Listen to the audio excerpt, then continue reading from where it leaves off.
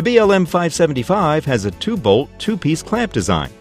To install, remove both clamp bolts and the back part of the clamp band. Position the lever onto the bar and place the band on the back side of the bar. Make sure the arrow on the clamp is facing up. Insert the bolts and tighten them, beginning at the arrow end of the clamp, and use a 4mm Allen wrench to tighten the bolt next to the arrow first. Tighten until the bolts stop turning under light pressure. Beginning at the arrow end, use a torque wrench to tighten the clamp bolts to 6 to 8 newton meters or 53 to 69 inch pounds. Clean the entire lever with alcohol and a clean rag. If you have removed the lid unit of the lever, top the lever off with mineral oil and reattach the lid. Clean the entire lever with alcohol and a clean rag. Before installing the brake pads, make sure the pads are oriented correctly. Some brake pads are right and left side specific for the caliper. Install the brake pads into the brake caliper. To install the brake pads with a cotter pin type pad axle, insert the brake pads and spring into the caliper, push the cotter pin through the caliper, pad, and spring, then bend the longer end of the axle to secure it. Install the red brake pad spacer and pull the brake lever a few times to set the pad spacing. For calipers with aluminum pistons like the BRM 775 or BRM 595, use a plastic tire lever or piston reset tool to push the pistons back into the caliper. And then tighten the fixing bolts to the torque specification of 6 to 8 newton meters or 53 to 69 inch pounds.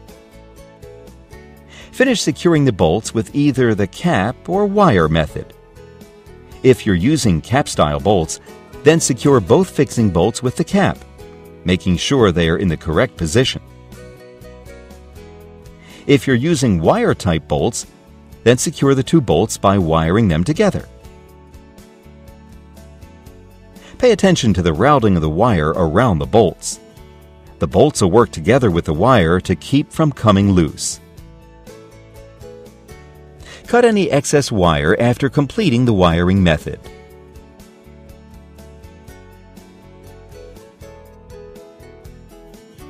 Once the brake system has been bled, position the caliper onto the adapter, insert the fixing bolts, and hand tighten them until the caliper is slightly loose on the adapter. Remove the red pad spacer and then reinstall the wheel. Pull the brake lever a few times, and then while holding the lever towards the handlebar, tighten the caliper fixing bolts to center the caliper and pads over the rotor. Make sure the bolts are torqued to the required specification of 6 to 8 newton meters or 53 to 69 inch pounds and are secured with either the caps or wire. When attaching the banjo unit to the caliper, make sure that the two O-rings are attached in the grooves on each side of the banjo. Depending on which banjo bolt is being used, attach the hose to the caliper with the banjo bolt with either a 3mm or 4mm Allen wrench.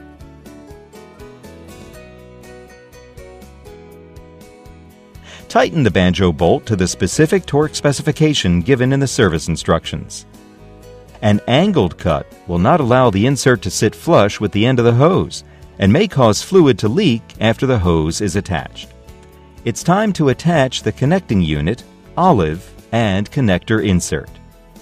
Before you install the connector insert, note that the SMBH 90 connector insert is shorter and has a larger inner diameter than the insert for the SMBH 80 and BH 59. Always check to make sure you're using the correct insert for your hose. It is comprised of the adapter, washer, and C-ring. Due to the design of the aluminum spider, the RT-AD10 is not compatible with the newer RT-76 rotors or RT-86 IceTech rotors. To install, place the adapter down on a flat, clean surface with the pins facing up. Set the 6-bolt rotor onto the adapter with the pins coming through the holes. Set the washer over the rotor and secure the adapter and washer with the C-ring. Make sure the C-ring is inserted securely into the groove of the adapter pins. If the C-ring is not properly inserted, the rotor may become loose and cause the brake to lock up. After installing the adapter, attach the rotor to the center lock hub as you would all other center lock rotors. That's it.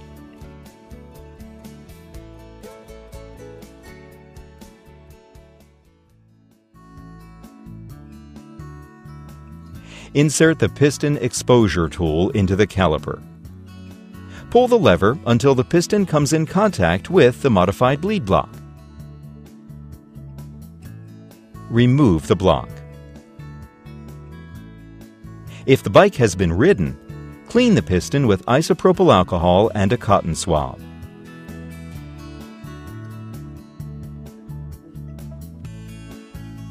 Push the piston back into the caliper Install the bleed block into the caliper and expose the same piston again. If it is still dirty, clean again with the cotton swabs and alcohol.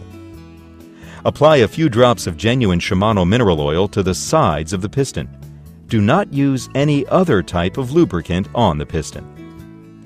If you are working on a new caliper, then you will need to only apply the mineral oil to the piston. Push the piston back into the caliper. Rotate the piston exposure tool and repeat the procedure for the remaining pistons.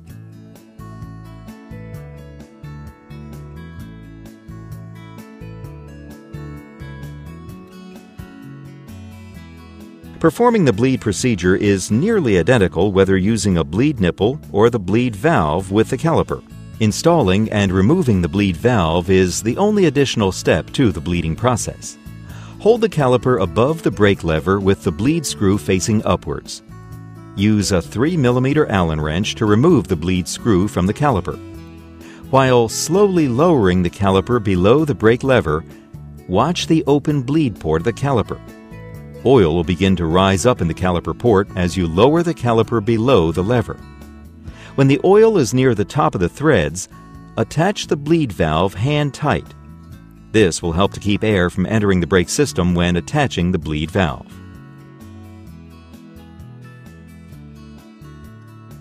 And then attach the syringe and bleed hose to the bleed nipple.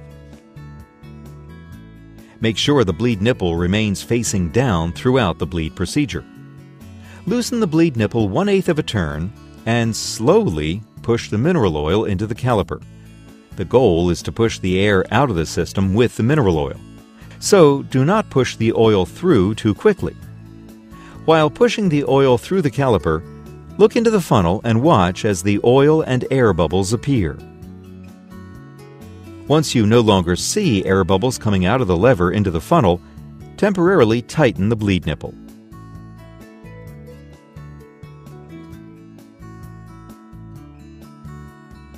Top off the lever reservoir with Shimano mineral oil before beginning the bleed procedure.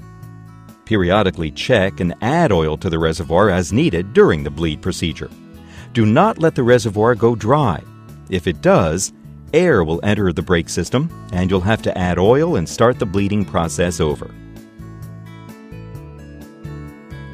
Remove the bleed nipple cap from the nipple and attach the 7mm box end wrench to the bleed nipple.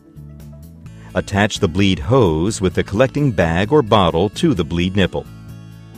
Loosen the bleed nipple 1 8 of a turn and pull the brake lever a few times to prime the system. This will help get the oil moving through and out of the caliper. While periodically checking the reservoir and adding oil when needed, lightly tap the brake hose and all sides of the caliper with a small screwdriver to help dislodge any air bubbles trapped in the system. Now pre-lube the new brake hose before attaching it to the brake lever. Fill the syringe from the Pro Bleed tool with Shimano mineral oil. Make sure all air has been removed from the hose and syringe. Attach a 7mm box end wrench to the bleed nipple, and then attach the syringe and hose. Loosen the bleed nipple 1 8 of a turn and slowly push mineral oil into the caliper. As you're pushing the oil through, watch for mineral oil coming out of the brake hose. When you see the oil overflow, tighten the bleed nipple. Leave the syringe and hose attached. Remove the hose from the zip tie. Check to make sure the olive is 5 millimeters from the outer edge of the insert. Apply a light coat of grease to the threads and the outside of the olive. Push the hose into the lever, then attach the connector bolt. While pushing the hose into the lever, use an 8mm wrench to tighten the connector bolt. Tighten to the torque specifications of 5 to 7 newton meters or 44 to 60 inch pounds.